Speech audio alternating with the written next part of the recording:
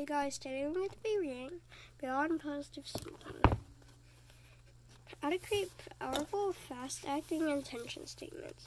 The following steps are designed to create powerful and fast acting intention statements. They're critical because they are the building blocks that will ensure successful results. So get them and see how they can help they can help you dramatically change and improve your life. So I'll only do number one for today. I'll do number two today.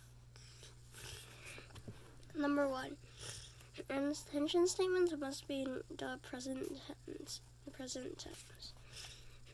The reason intention statements must be in the present tense is that there is no past or future in the subconscious mind.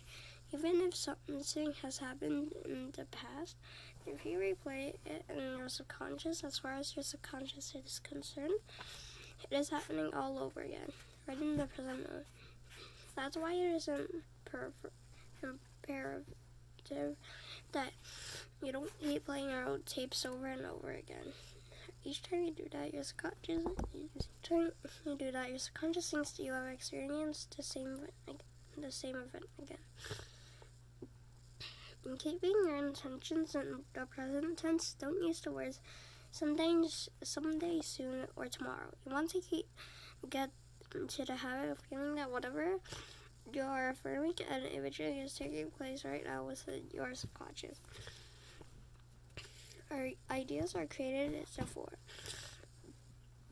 This means that if you accept an idea in present tense, in present tense, that idea will take form.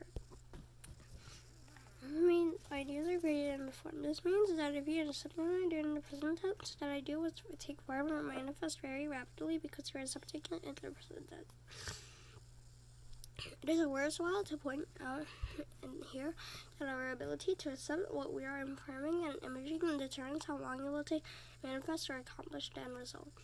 Everything works on accepted this level.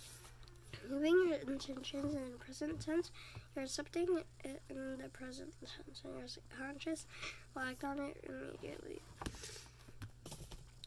So you need to put your intentions in the present.